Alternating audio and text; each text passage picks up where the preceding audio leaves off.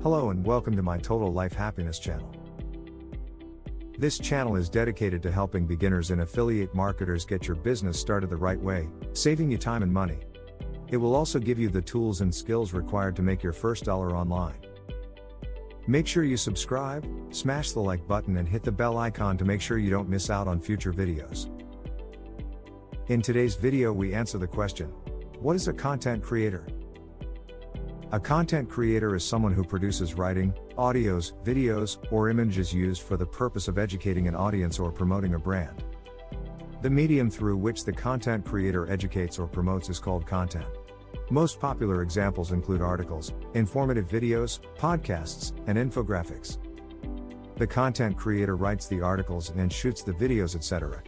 However, the content marketer may direct the content creator to produce these content pieces and to monitor how it is used. In other words, the content creator may write the article and the content marketer may work on distribution of that content through paid campaigns or social media sharing.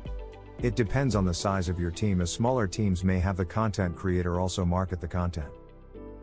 The content designer can also be the brains behind the content, in that they come up with the idea of what the content can do and how it can be used.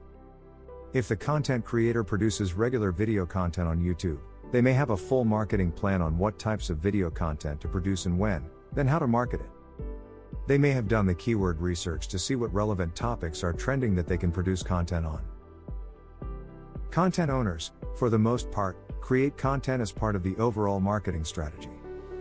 There are many forms of content marketing, and the types of content the creator produces will be based on the marketing plan they have. An example of a form of content marketing is the media company setup. This is where news content is produced related to the niche, and the aim of this plan is to position the company as a niche authority to massively expand the reach of the brand. All in all, the content creator at a minimum creates content, but their role can rise to being the head of the content marketing plan. If you like this video, make sure you subscribe, smash the like button and hit the bell icon to make sure you don't miss out on future videos. Thanks for watching.